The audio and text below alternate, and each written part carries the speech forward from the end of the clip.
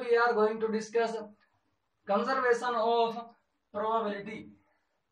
How to calculate and how to understand conservation of probability. So let me start. Conservation of probability. Conservation of probability calculated with the help of equation of continuity.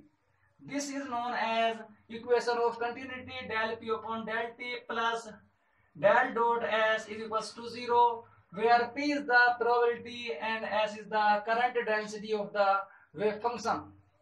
So this is known as equation of continuity and this equation integrate both sides with respect to volume. So we can write here integration del p upon del t dv plus del dot s dv is equals to 0. In this equation integrate both sides with respect to volume. So we can write here this and this is known as equation of continuity and this part goes to there. So we can write here del p upon del t dv equals to minus del dot s dv. This is known as equation second.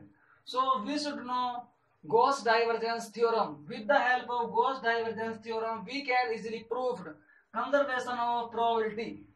So this is known as Gauss divergence theorem. Del dot s dv equals to a s into dA, where a is the surface area and dv is the volume and v is the complete volume of the universe or complete volume of the system.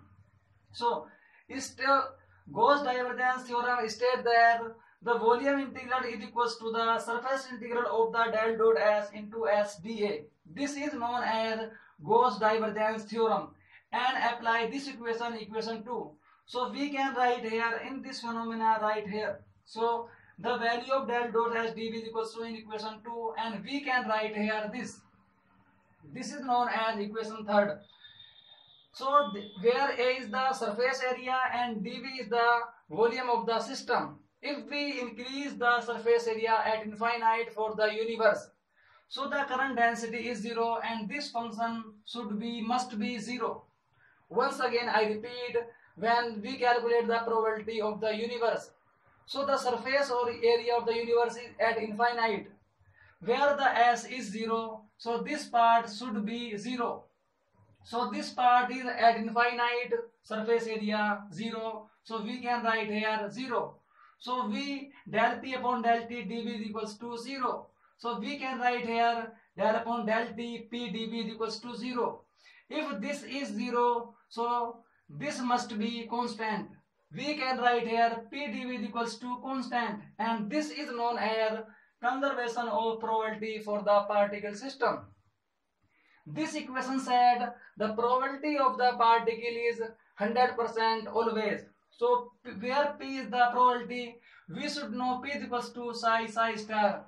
Where psi is the wave function and psi star is the complex conjugate of the psi.